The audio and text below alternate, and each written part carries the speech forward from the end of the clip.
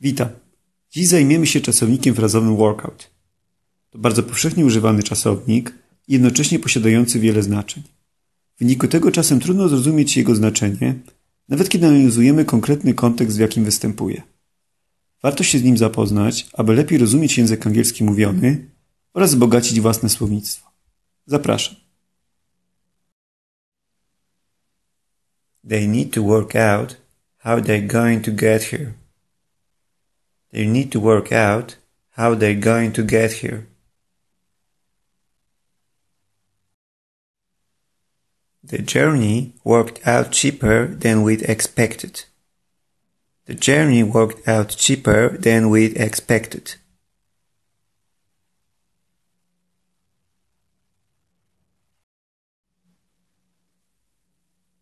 The mine was worked out. The mine was worked out.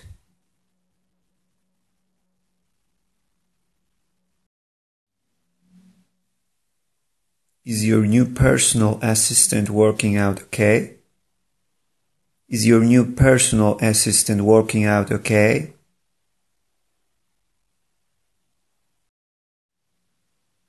If it doesn't work out, you can always cut your hair. If it doesn't work out, you can always cut your hair.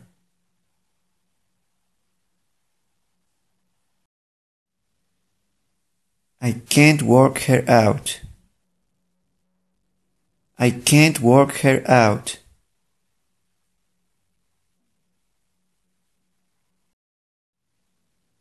It's hard to work out the value of all real estates.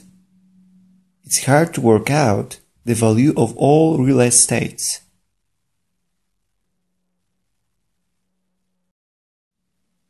She hoped it would work out. She hoped it would work out. They couldn't work out where the noise was coming from. They couldn't work out where the noise was coming from.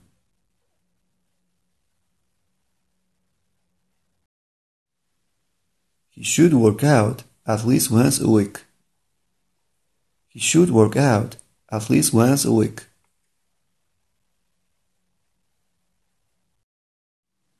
Jeśli podobał się Wam film, kliknijcie przycisk kciuki subskrybuj.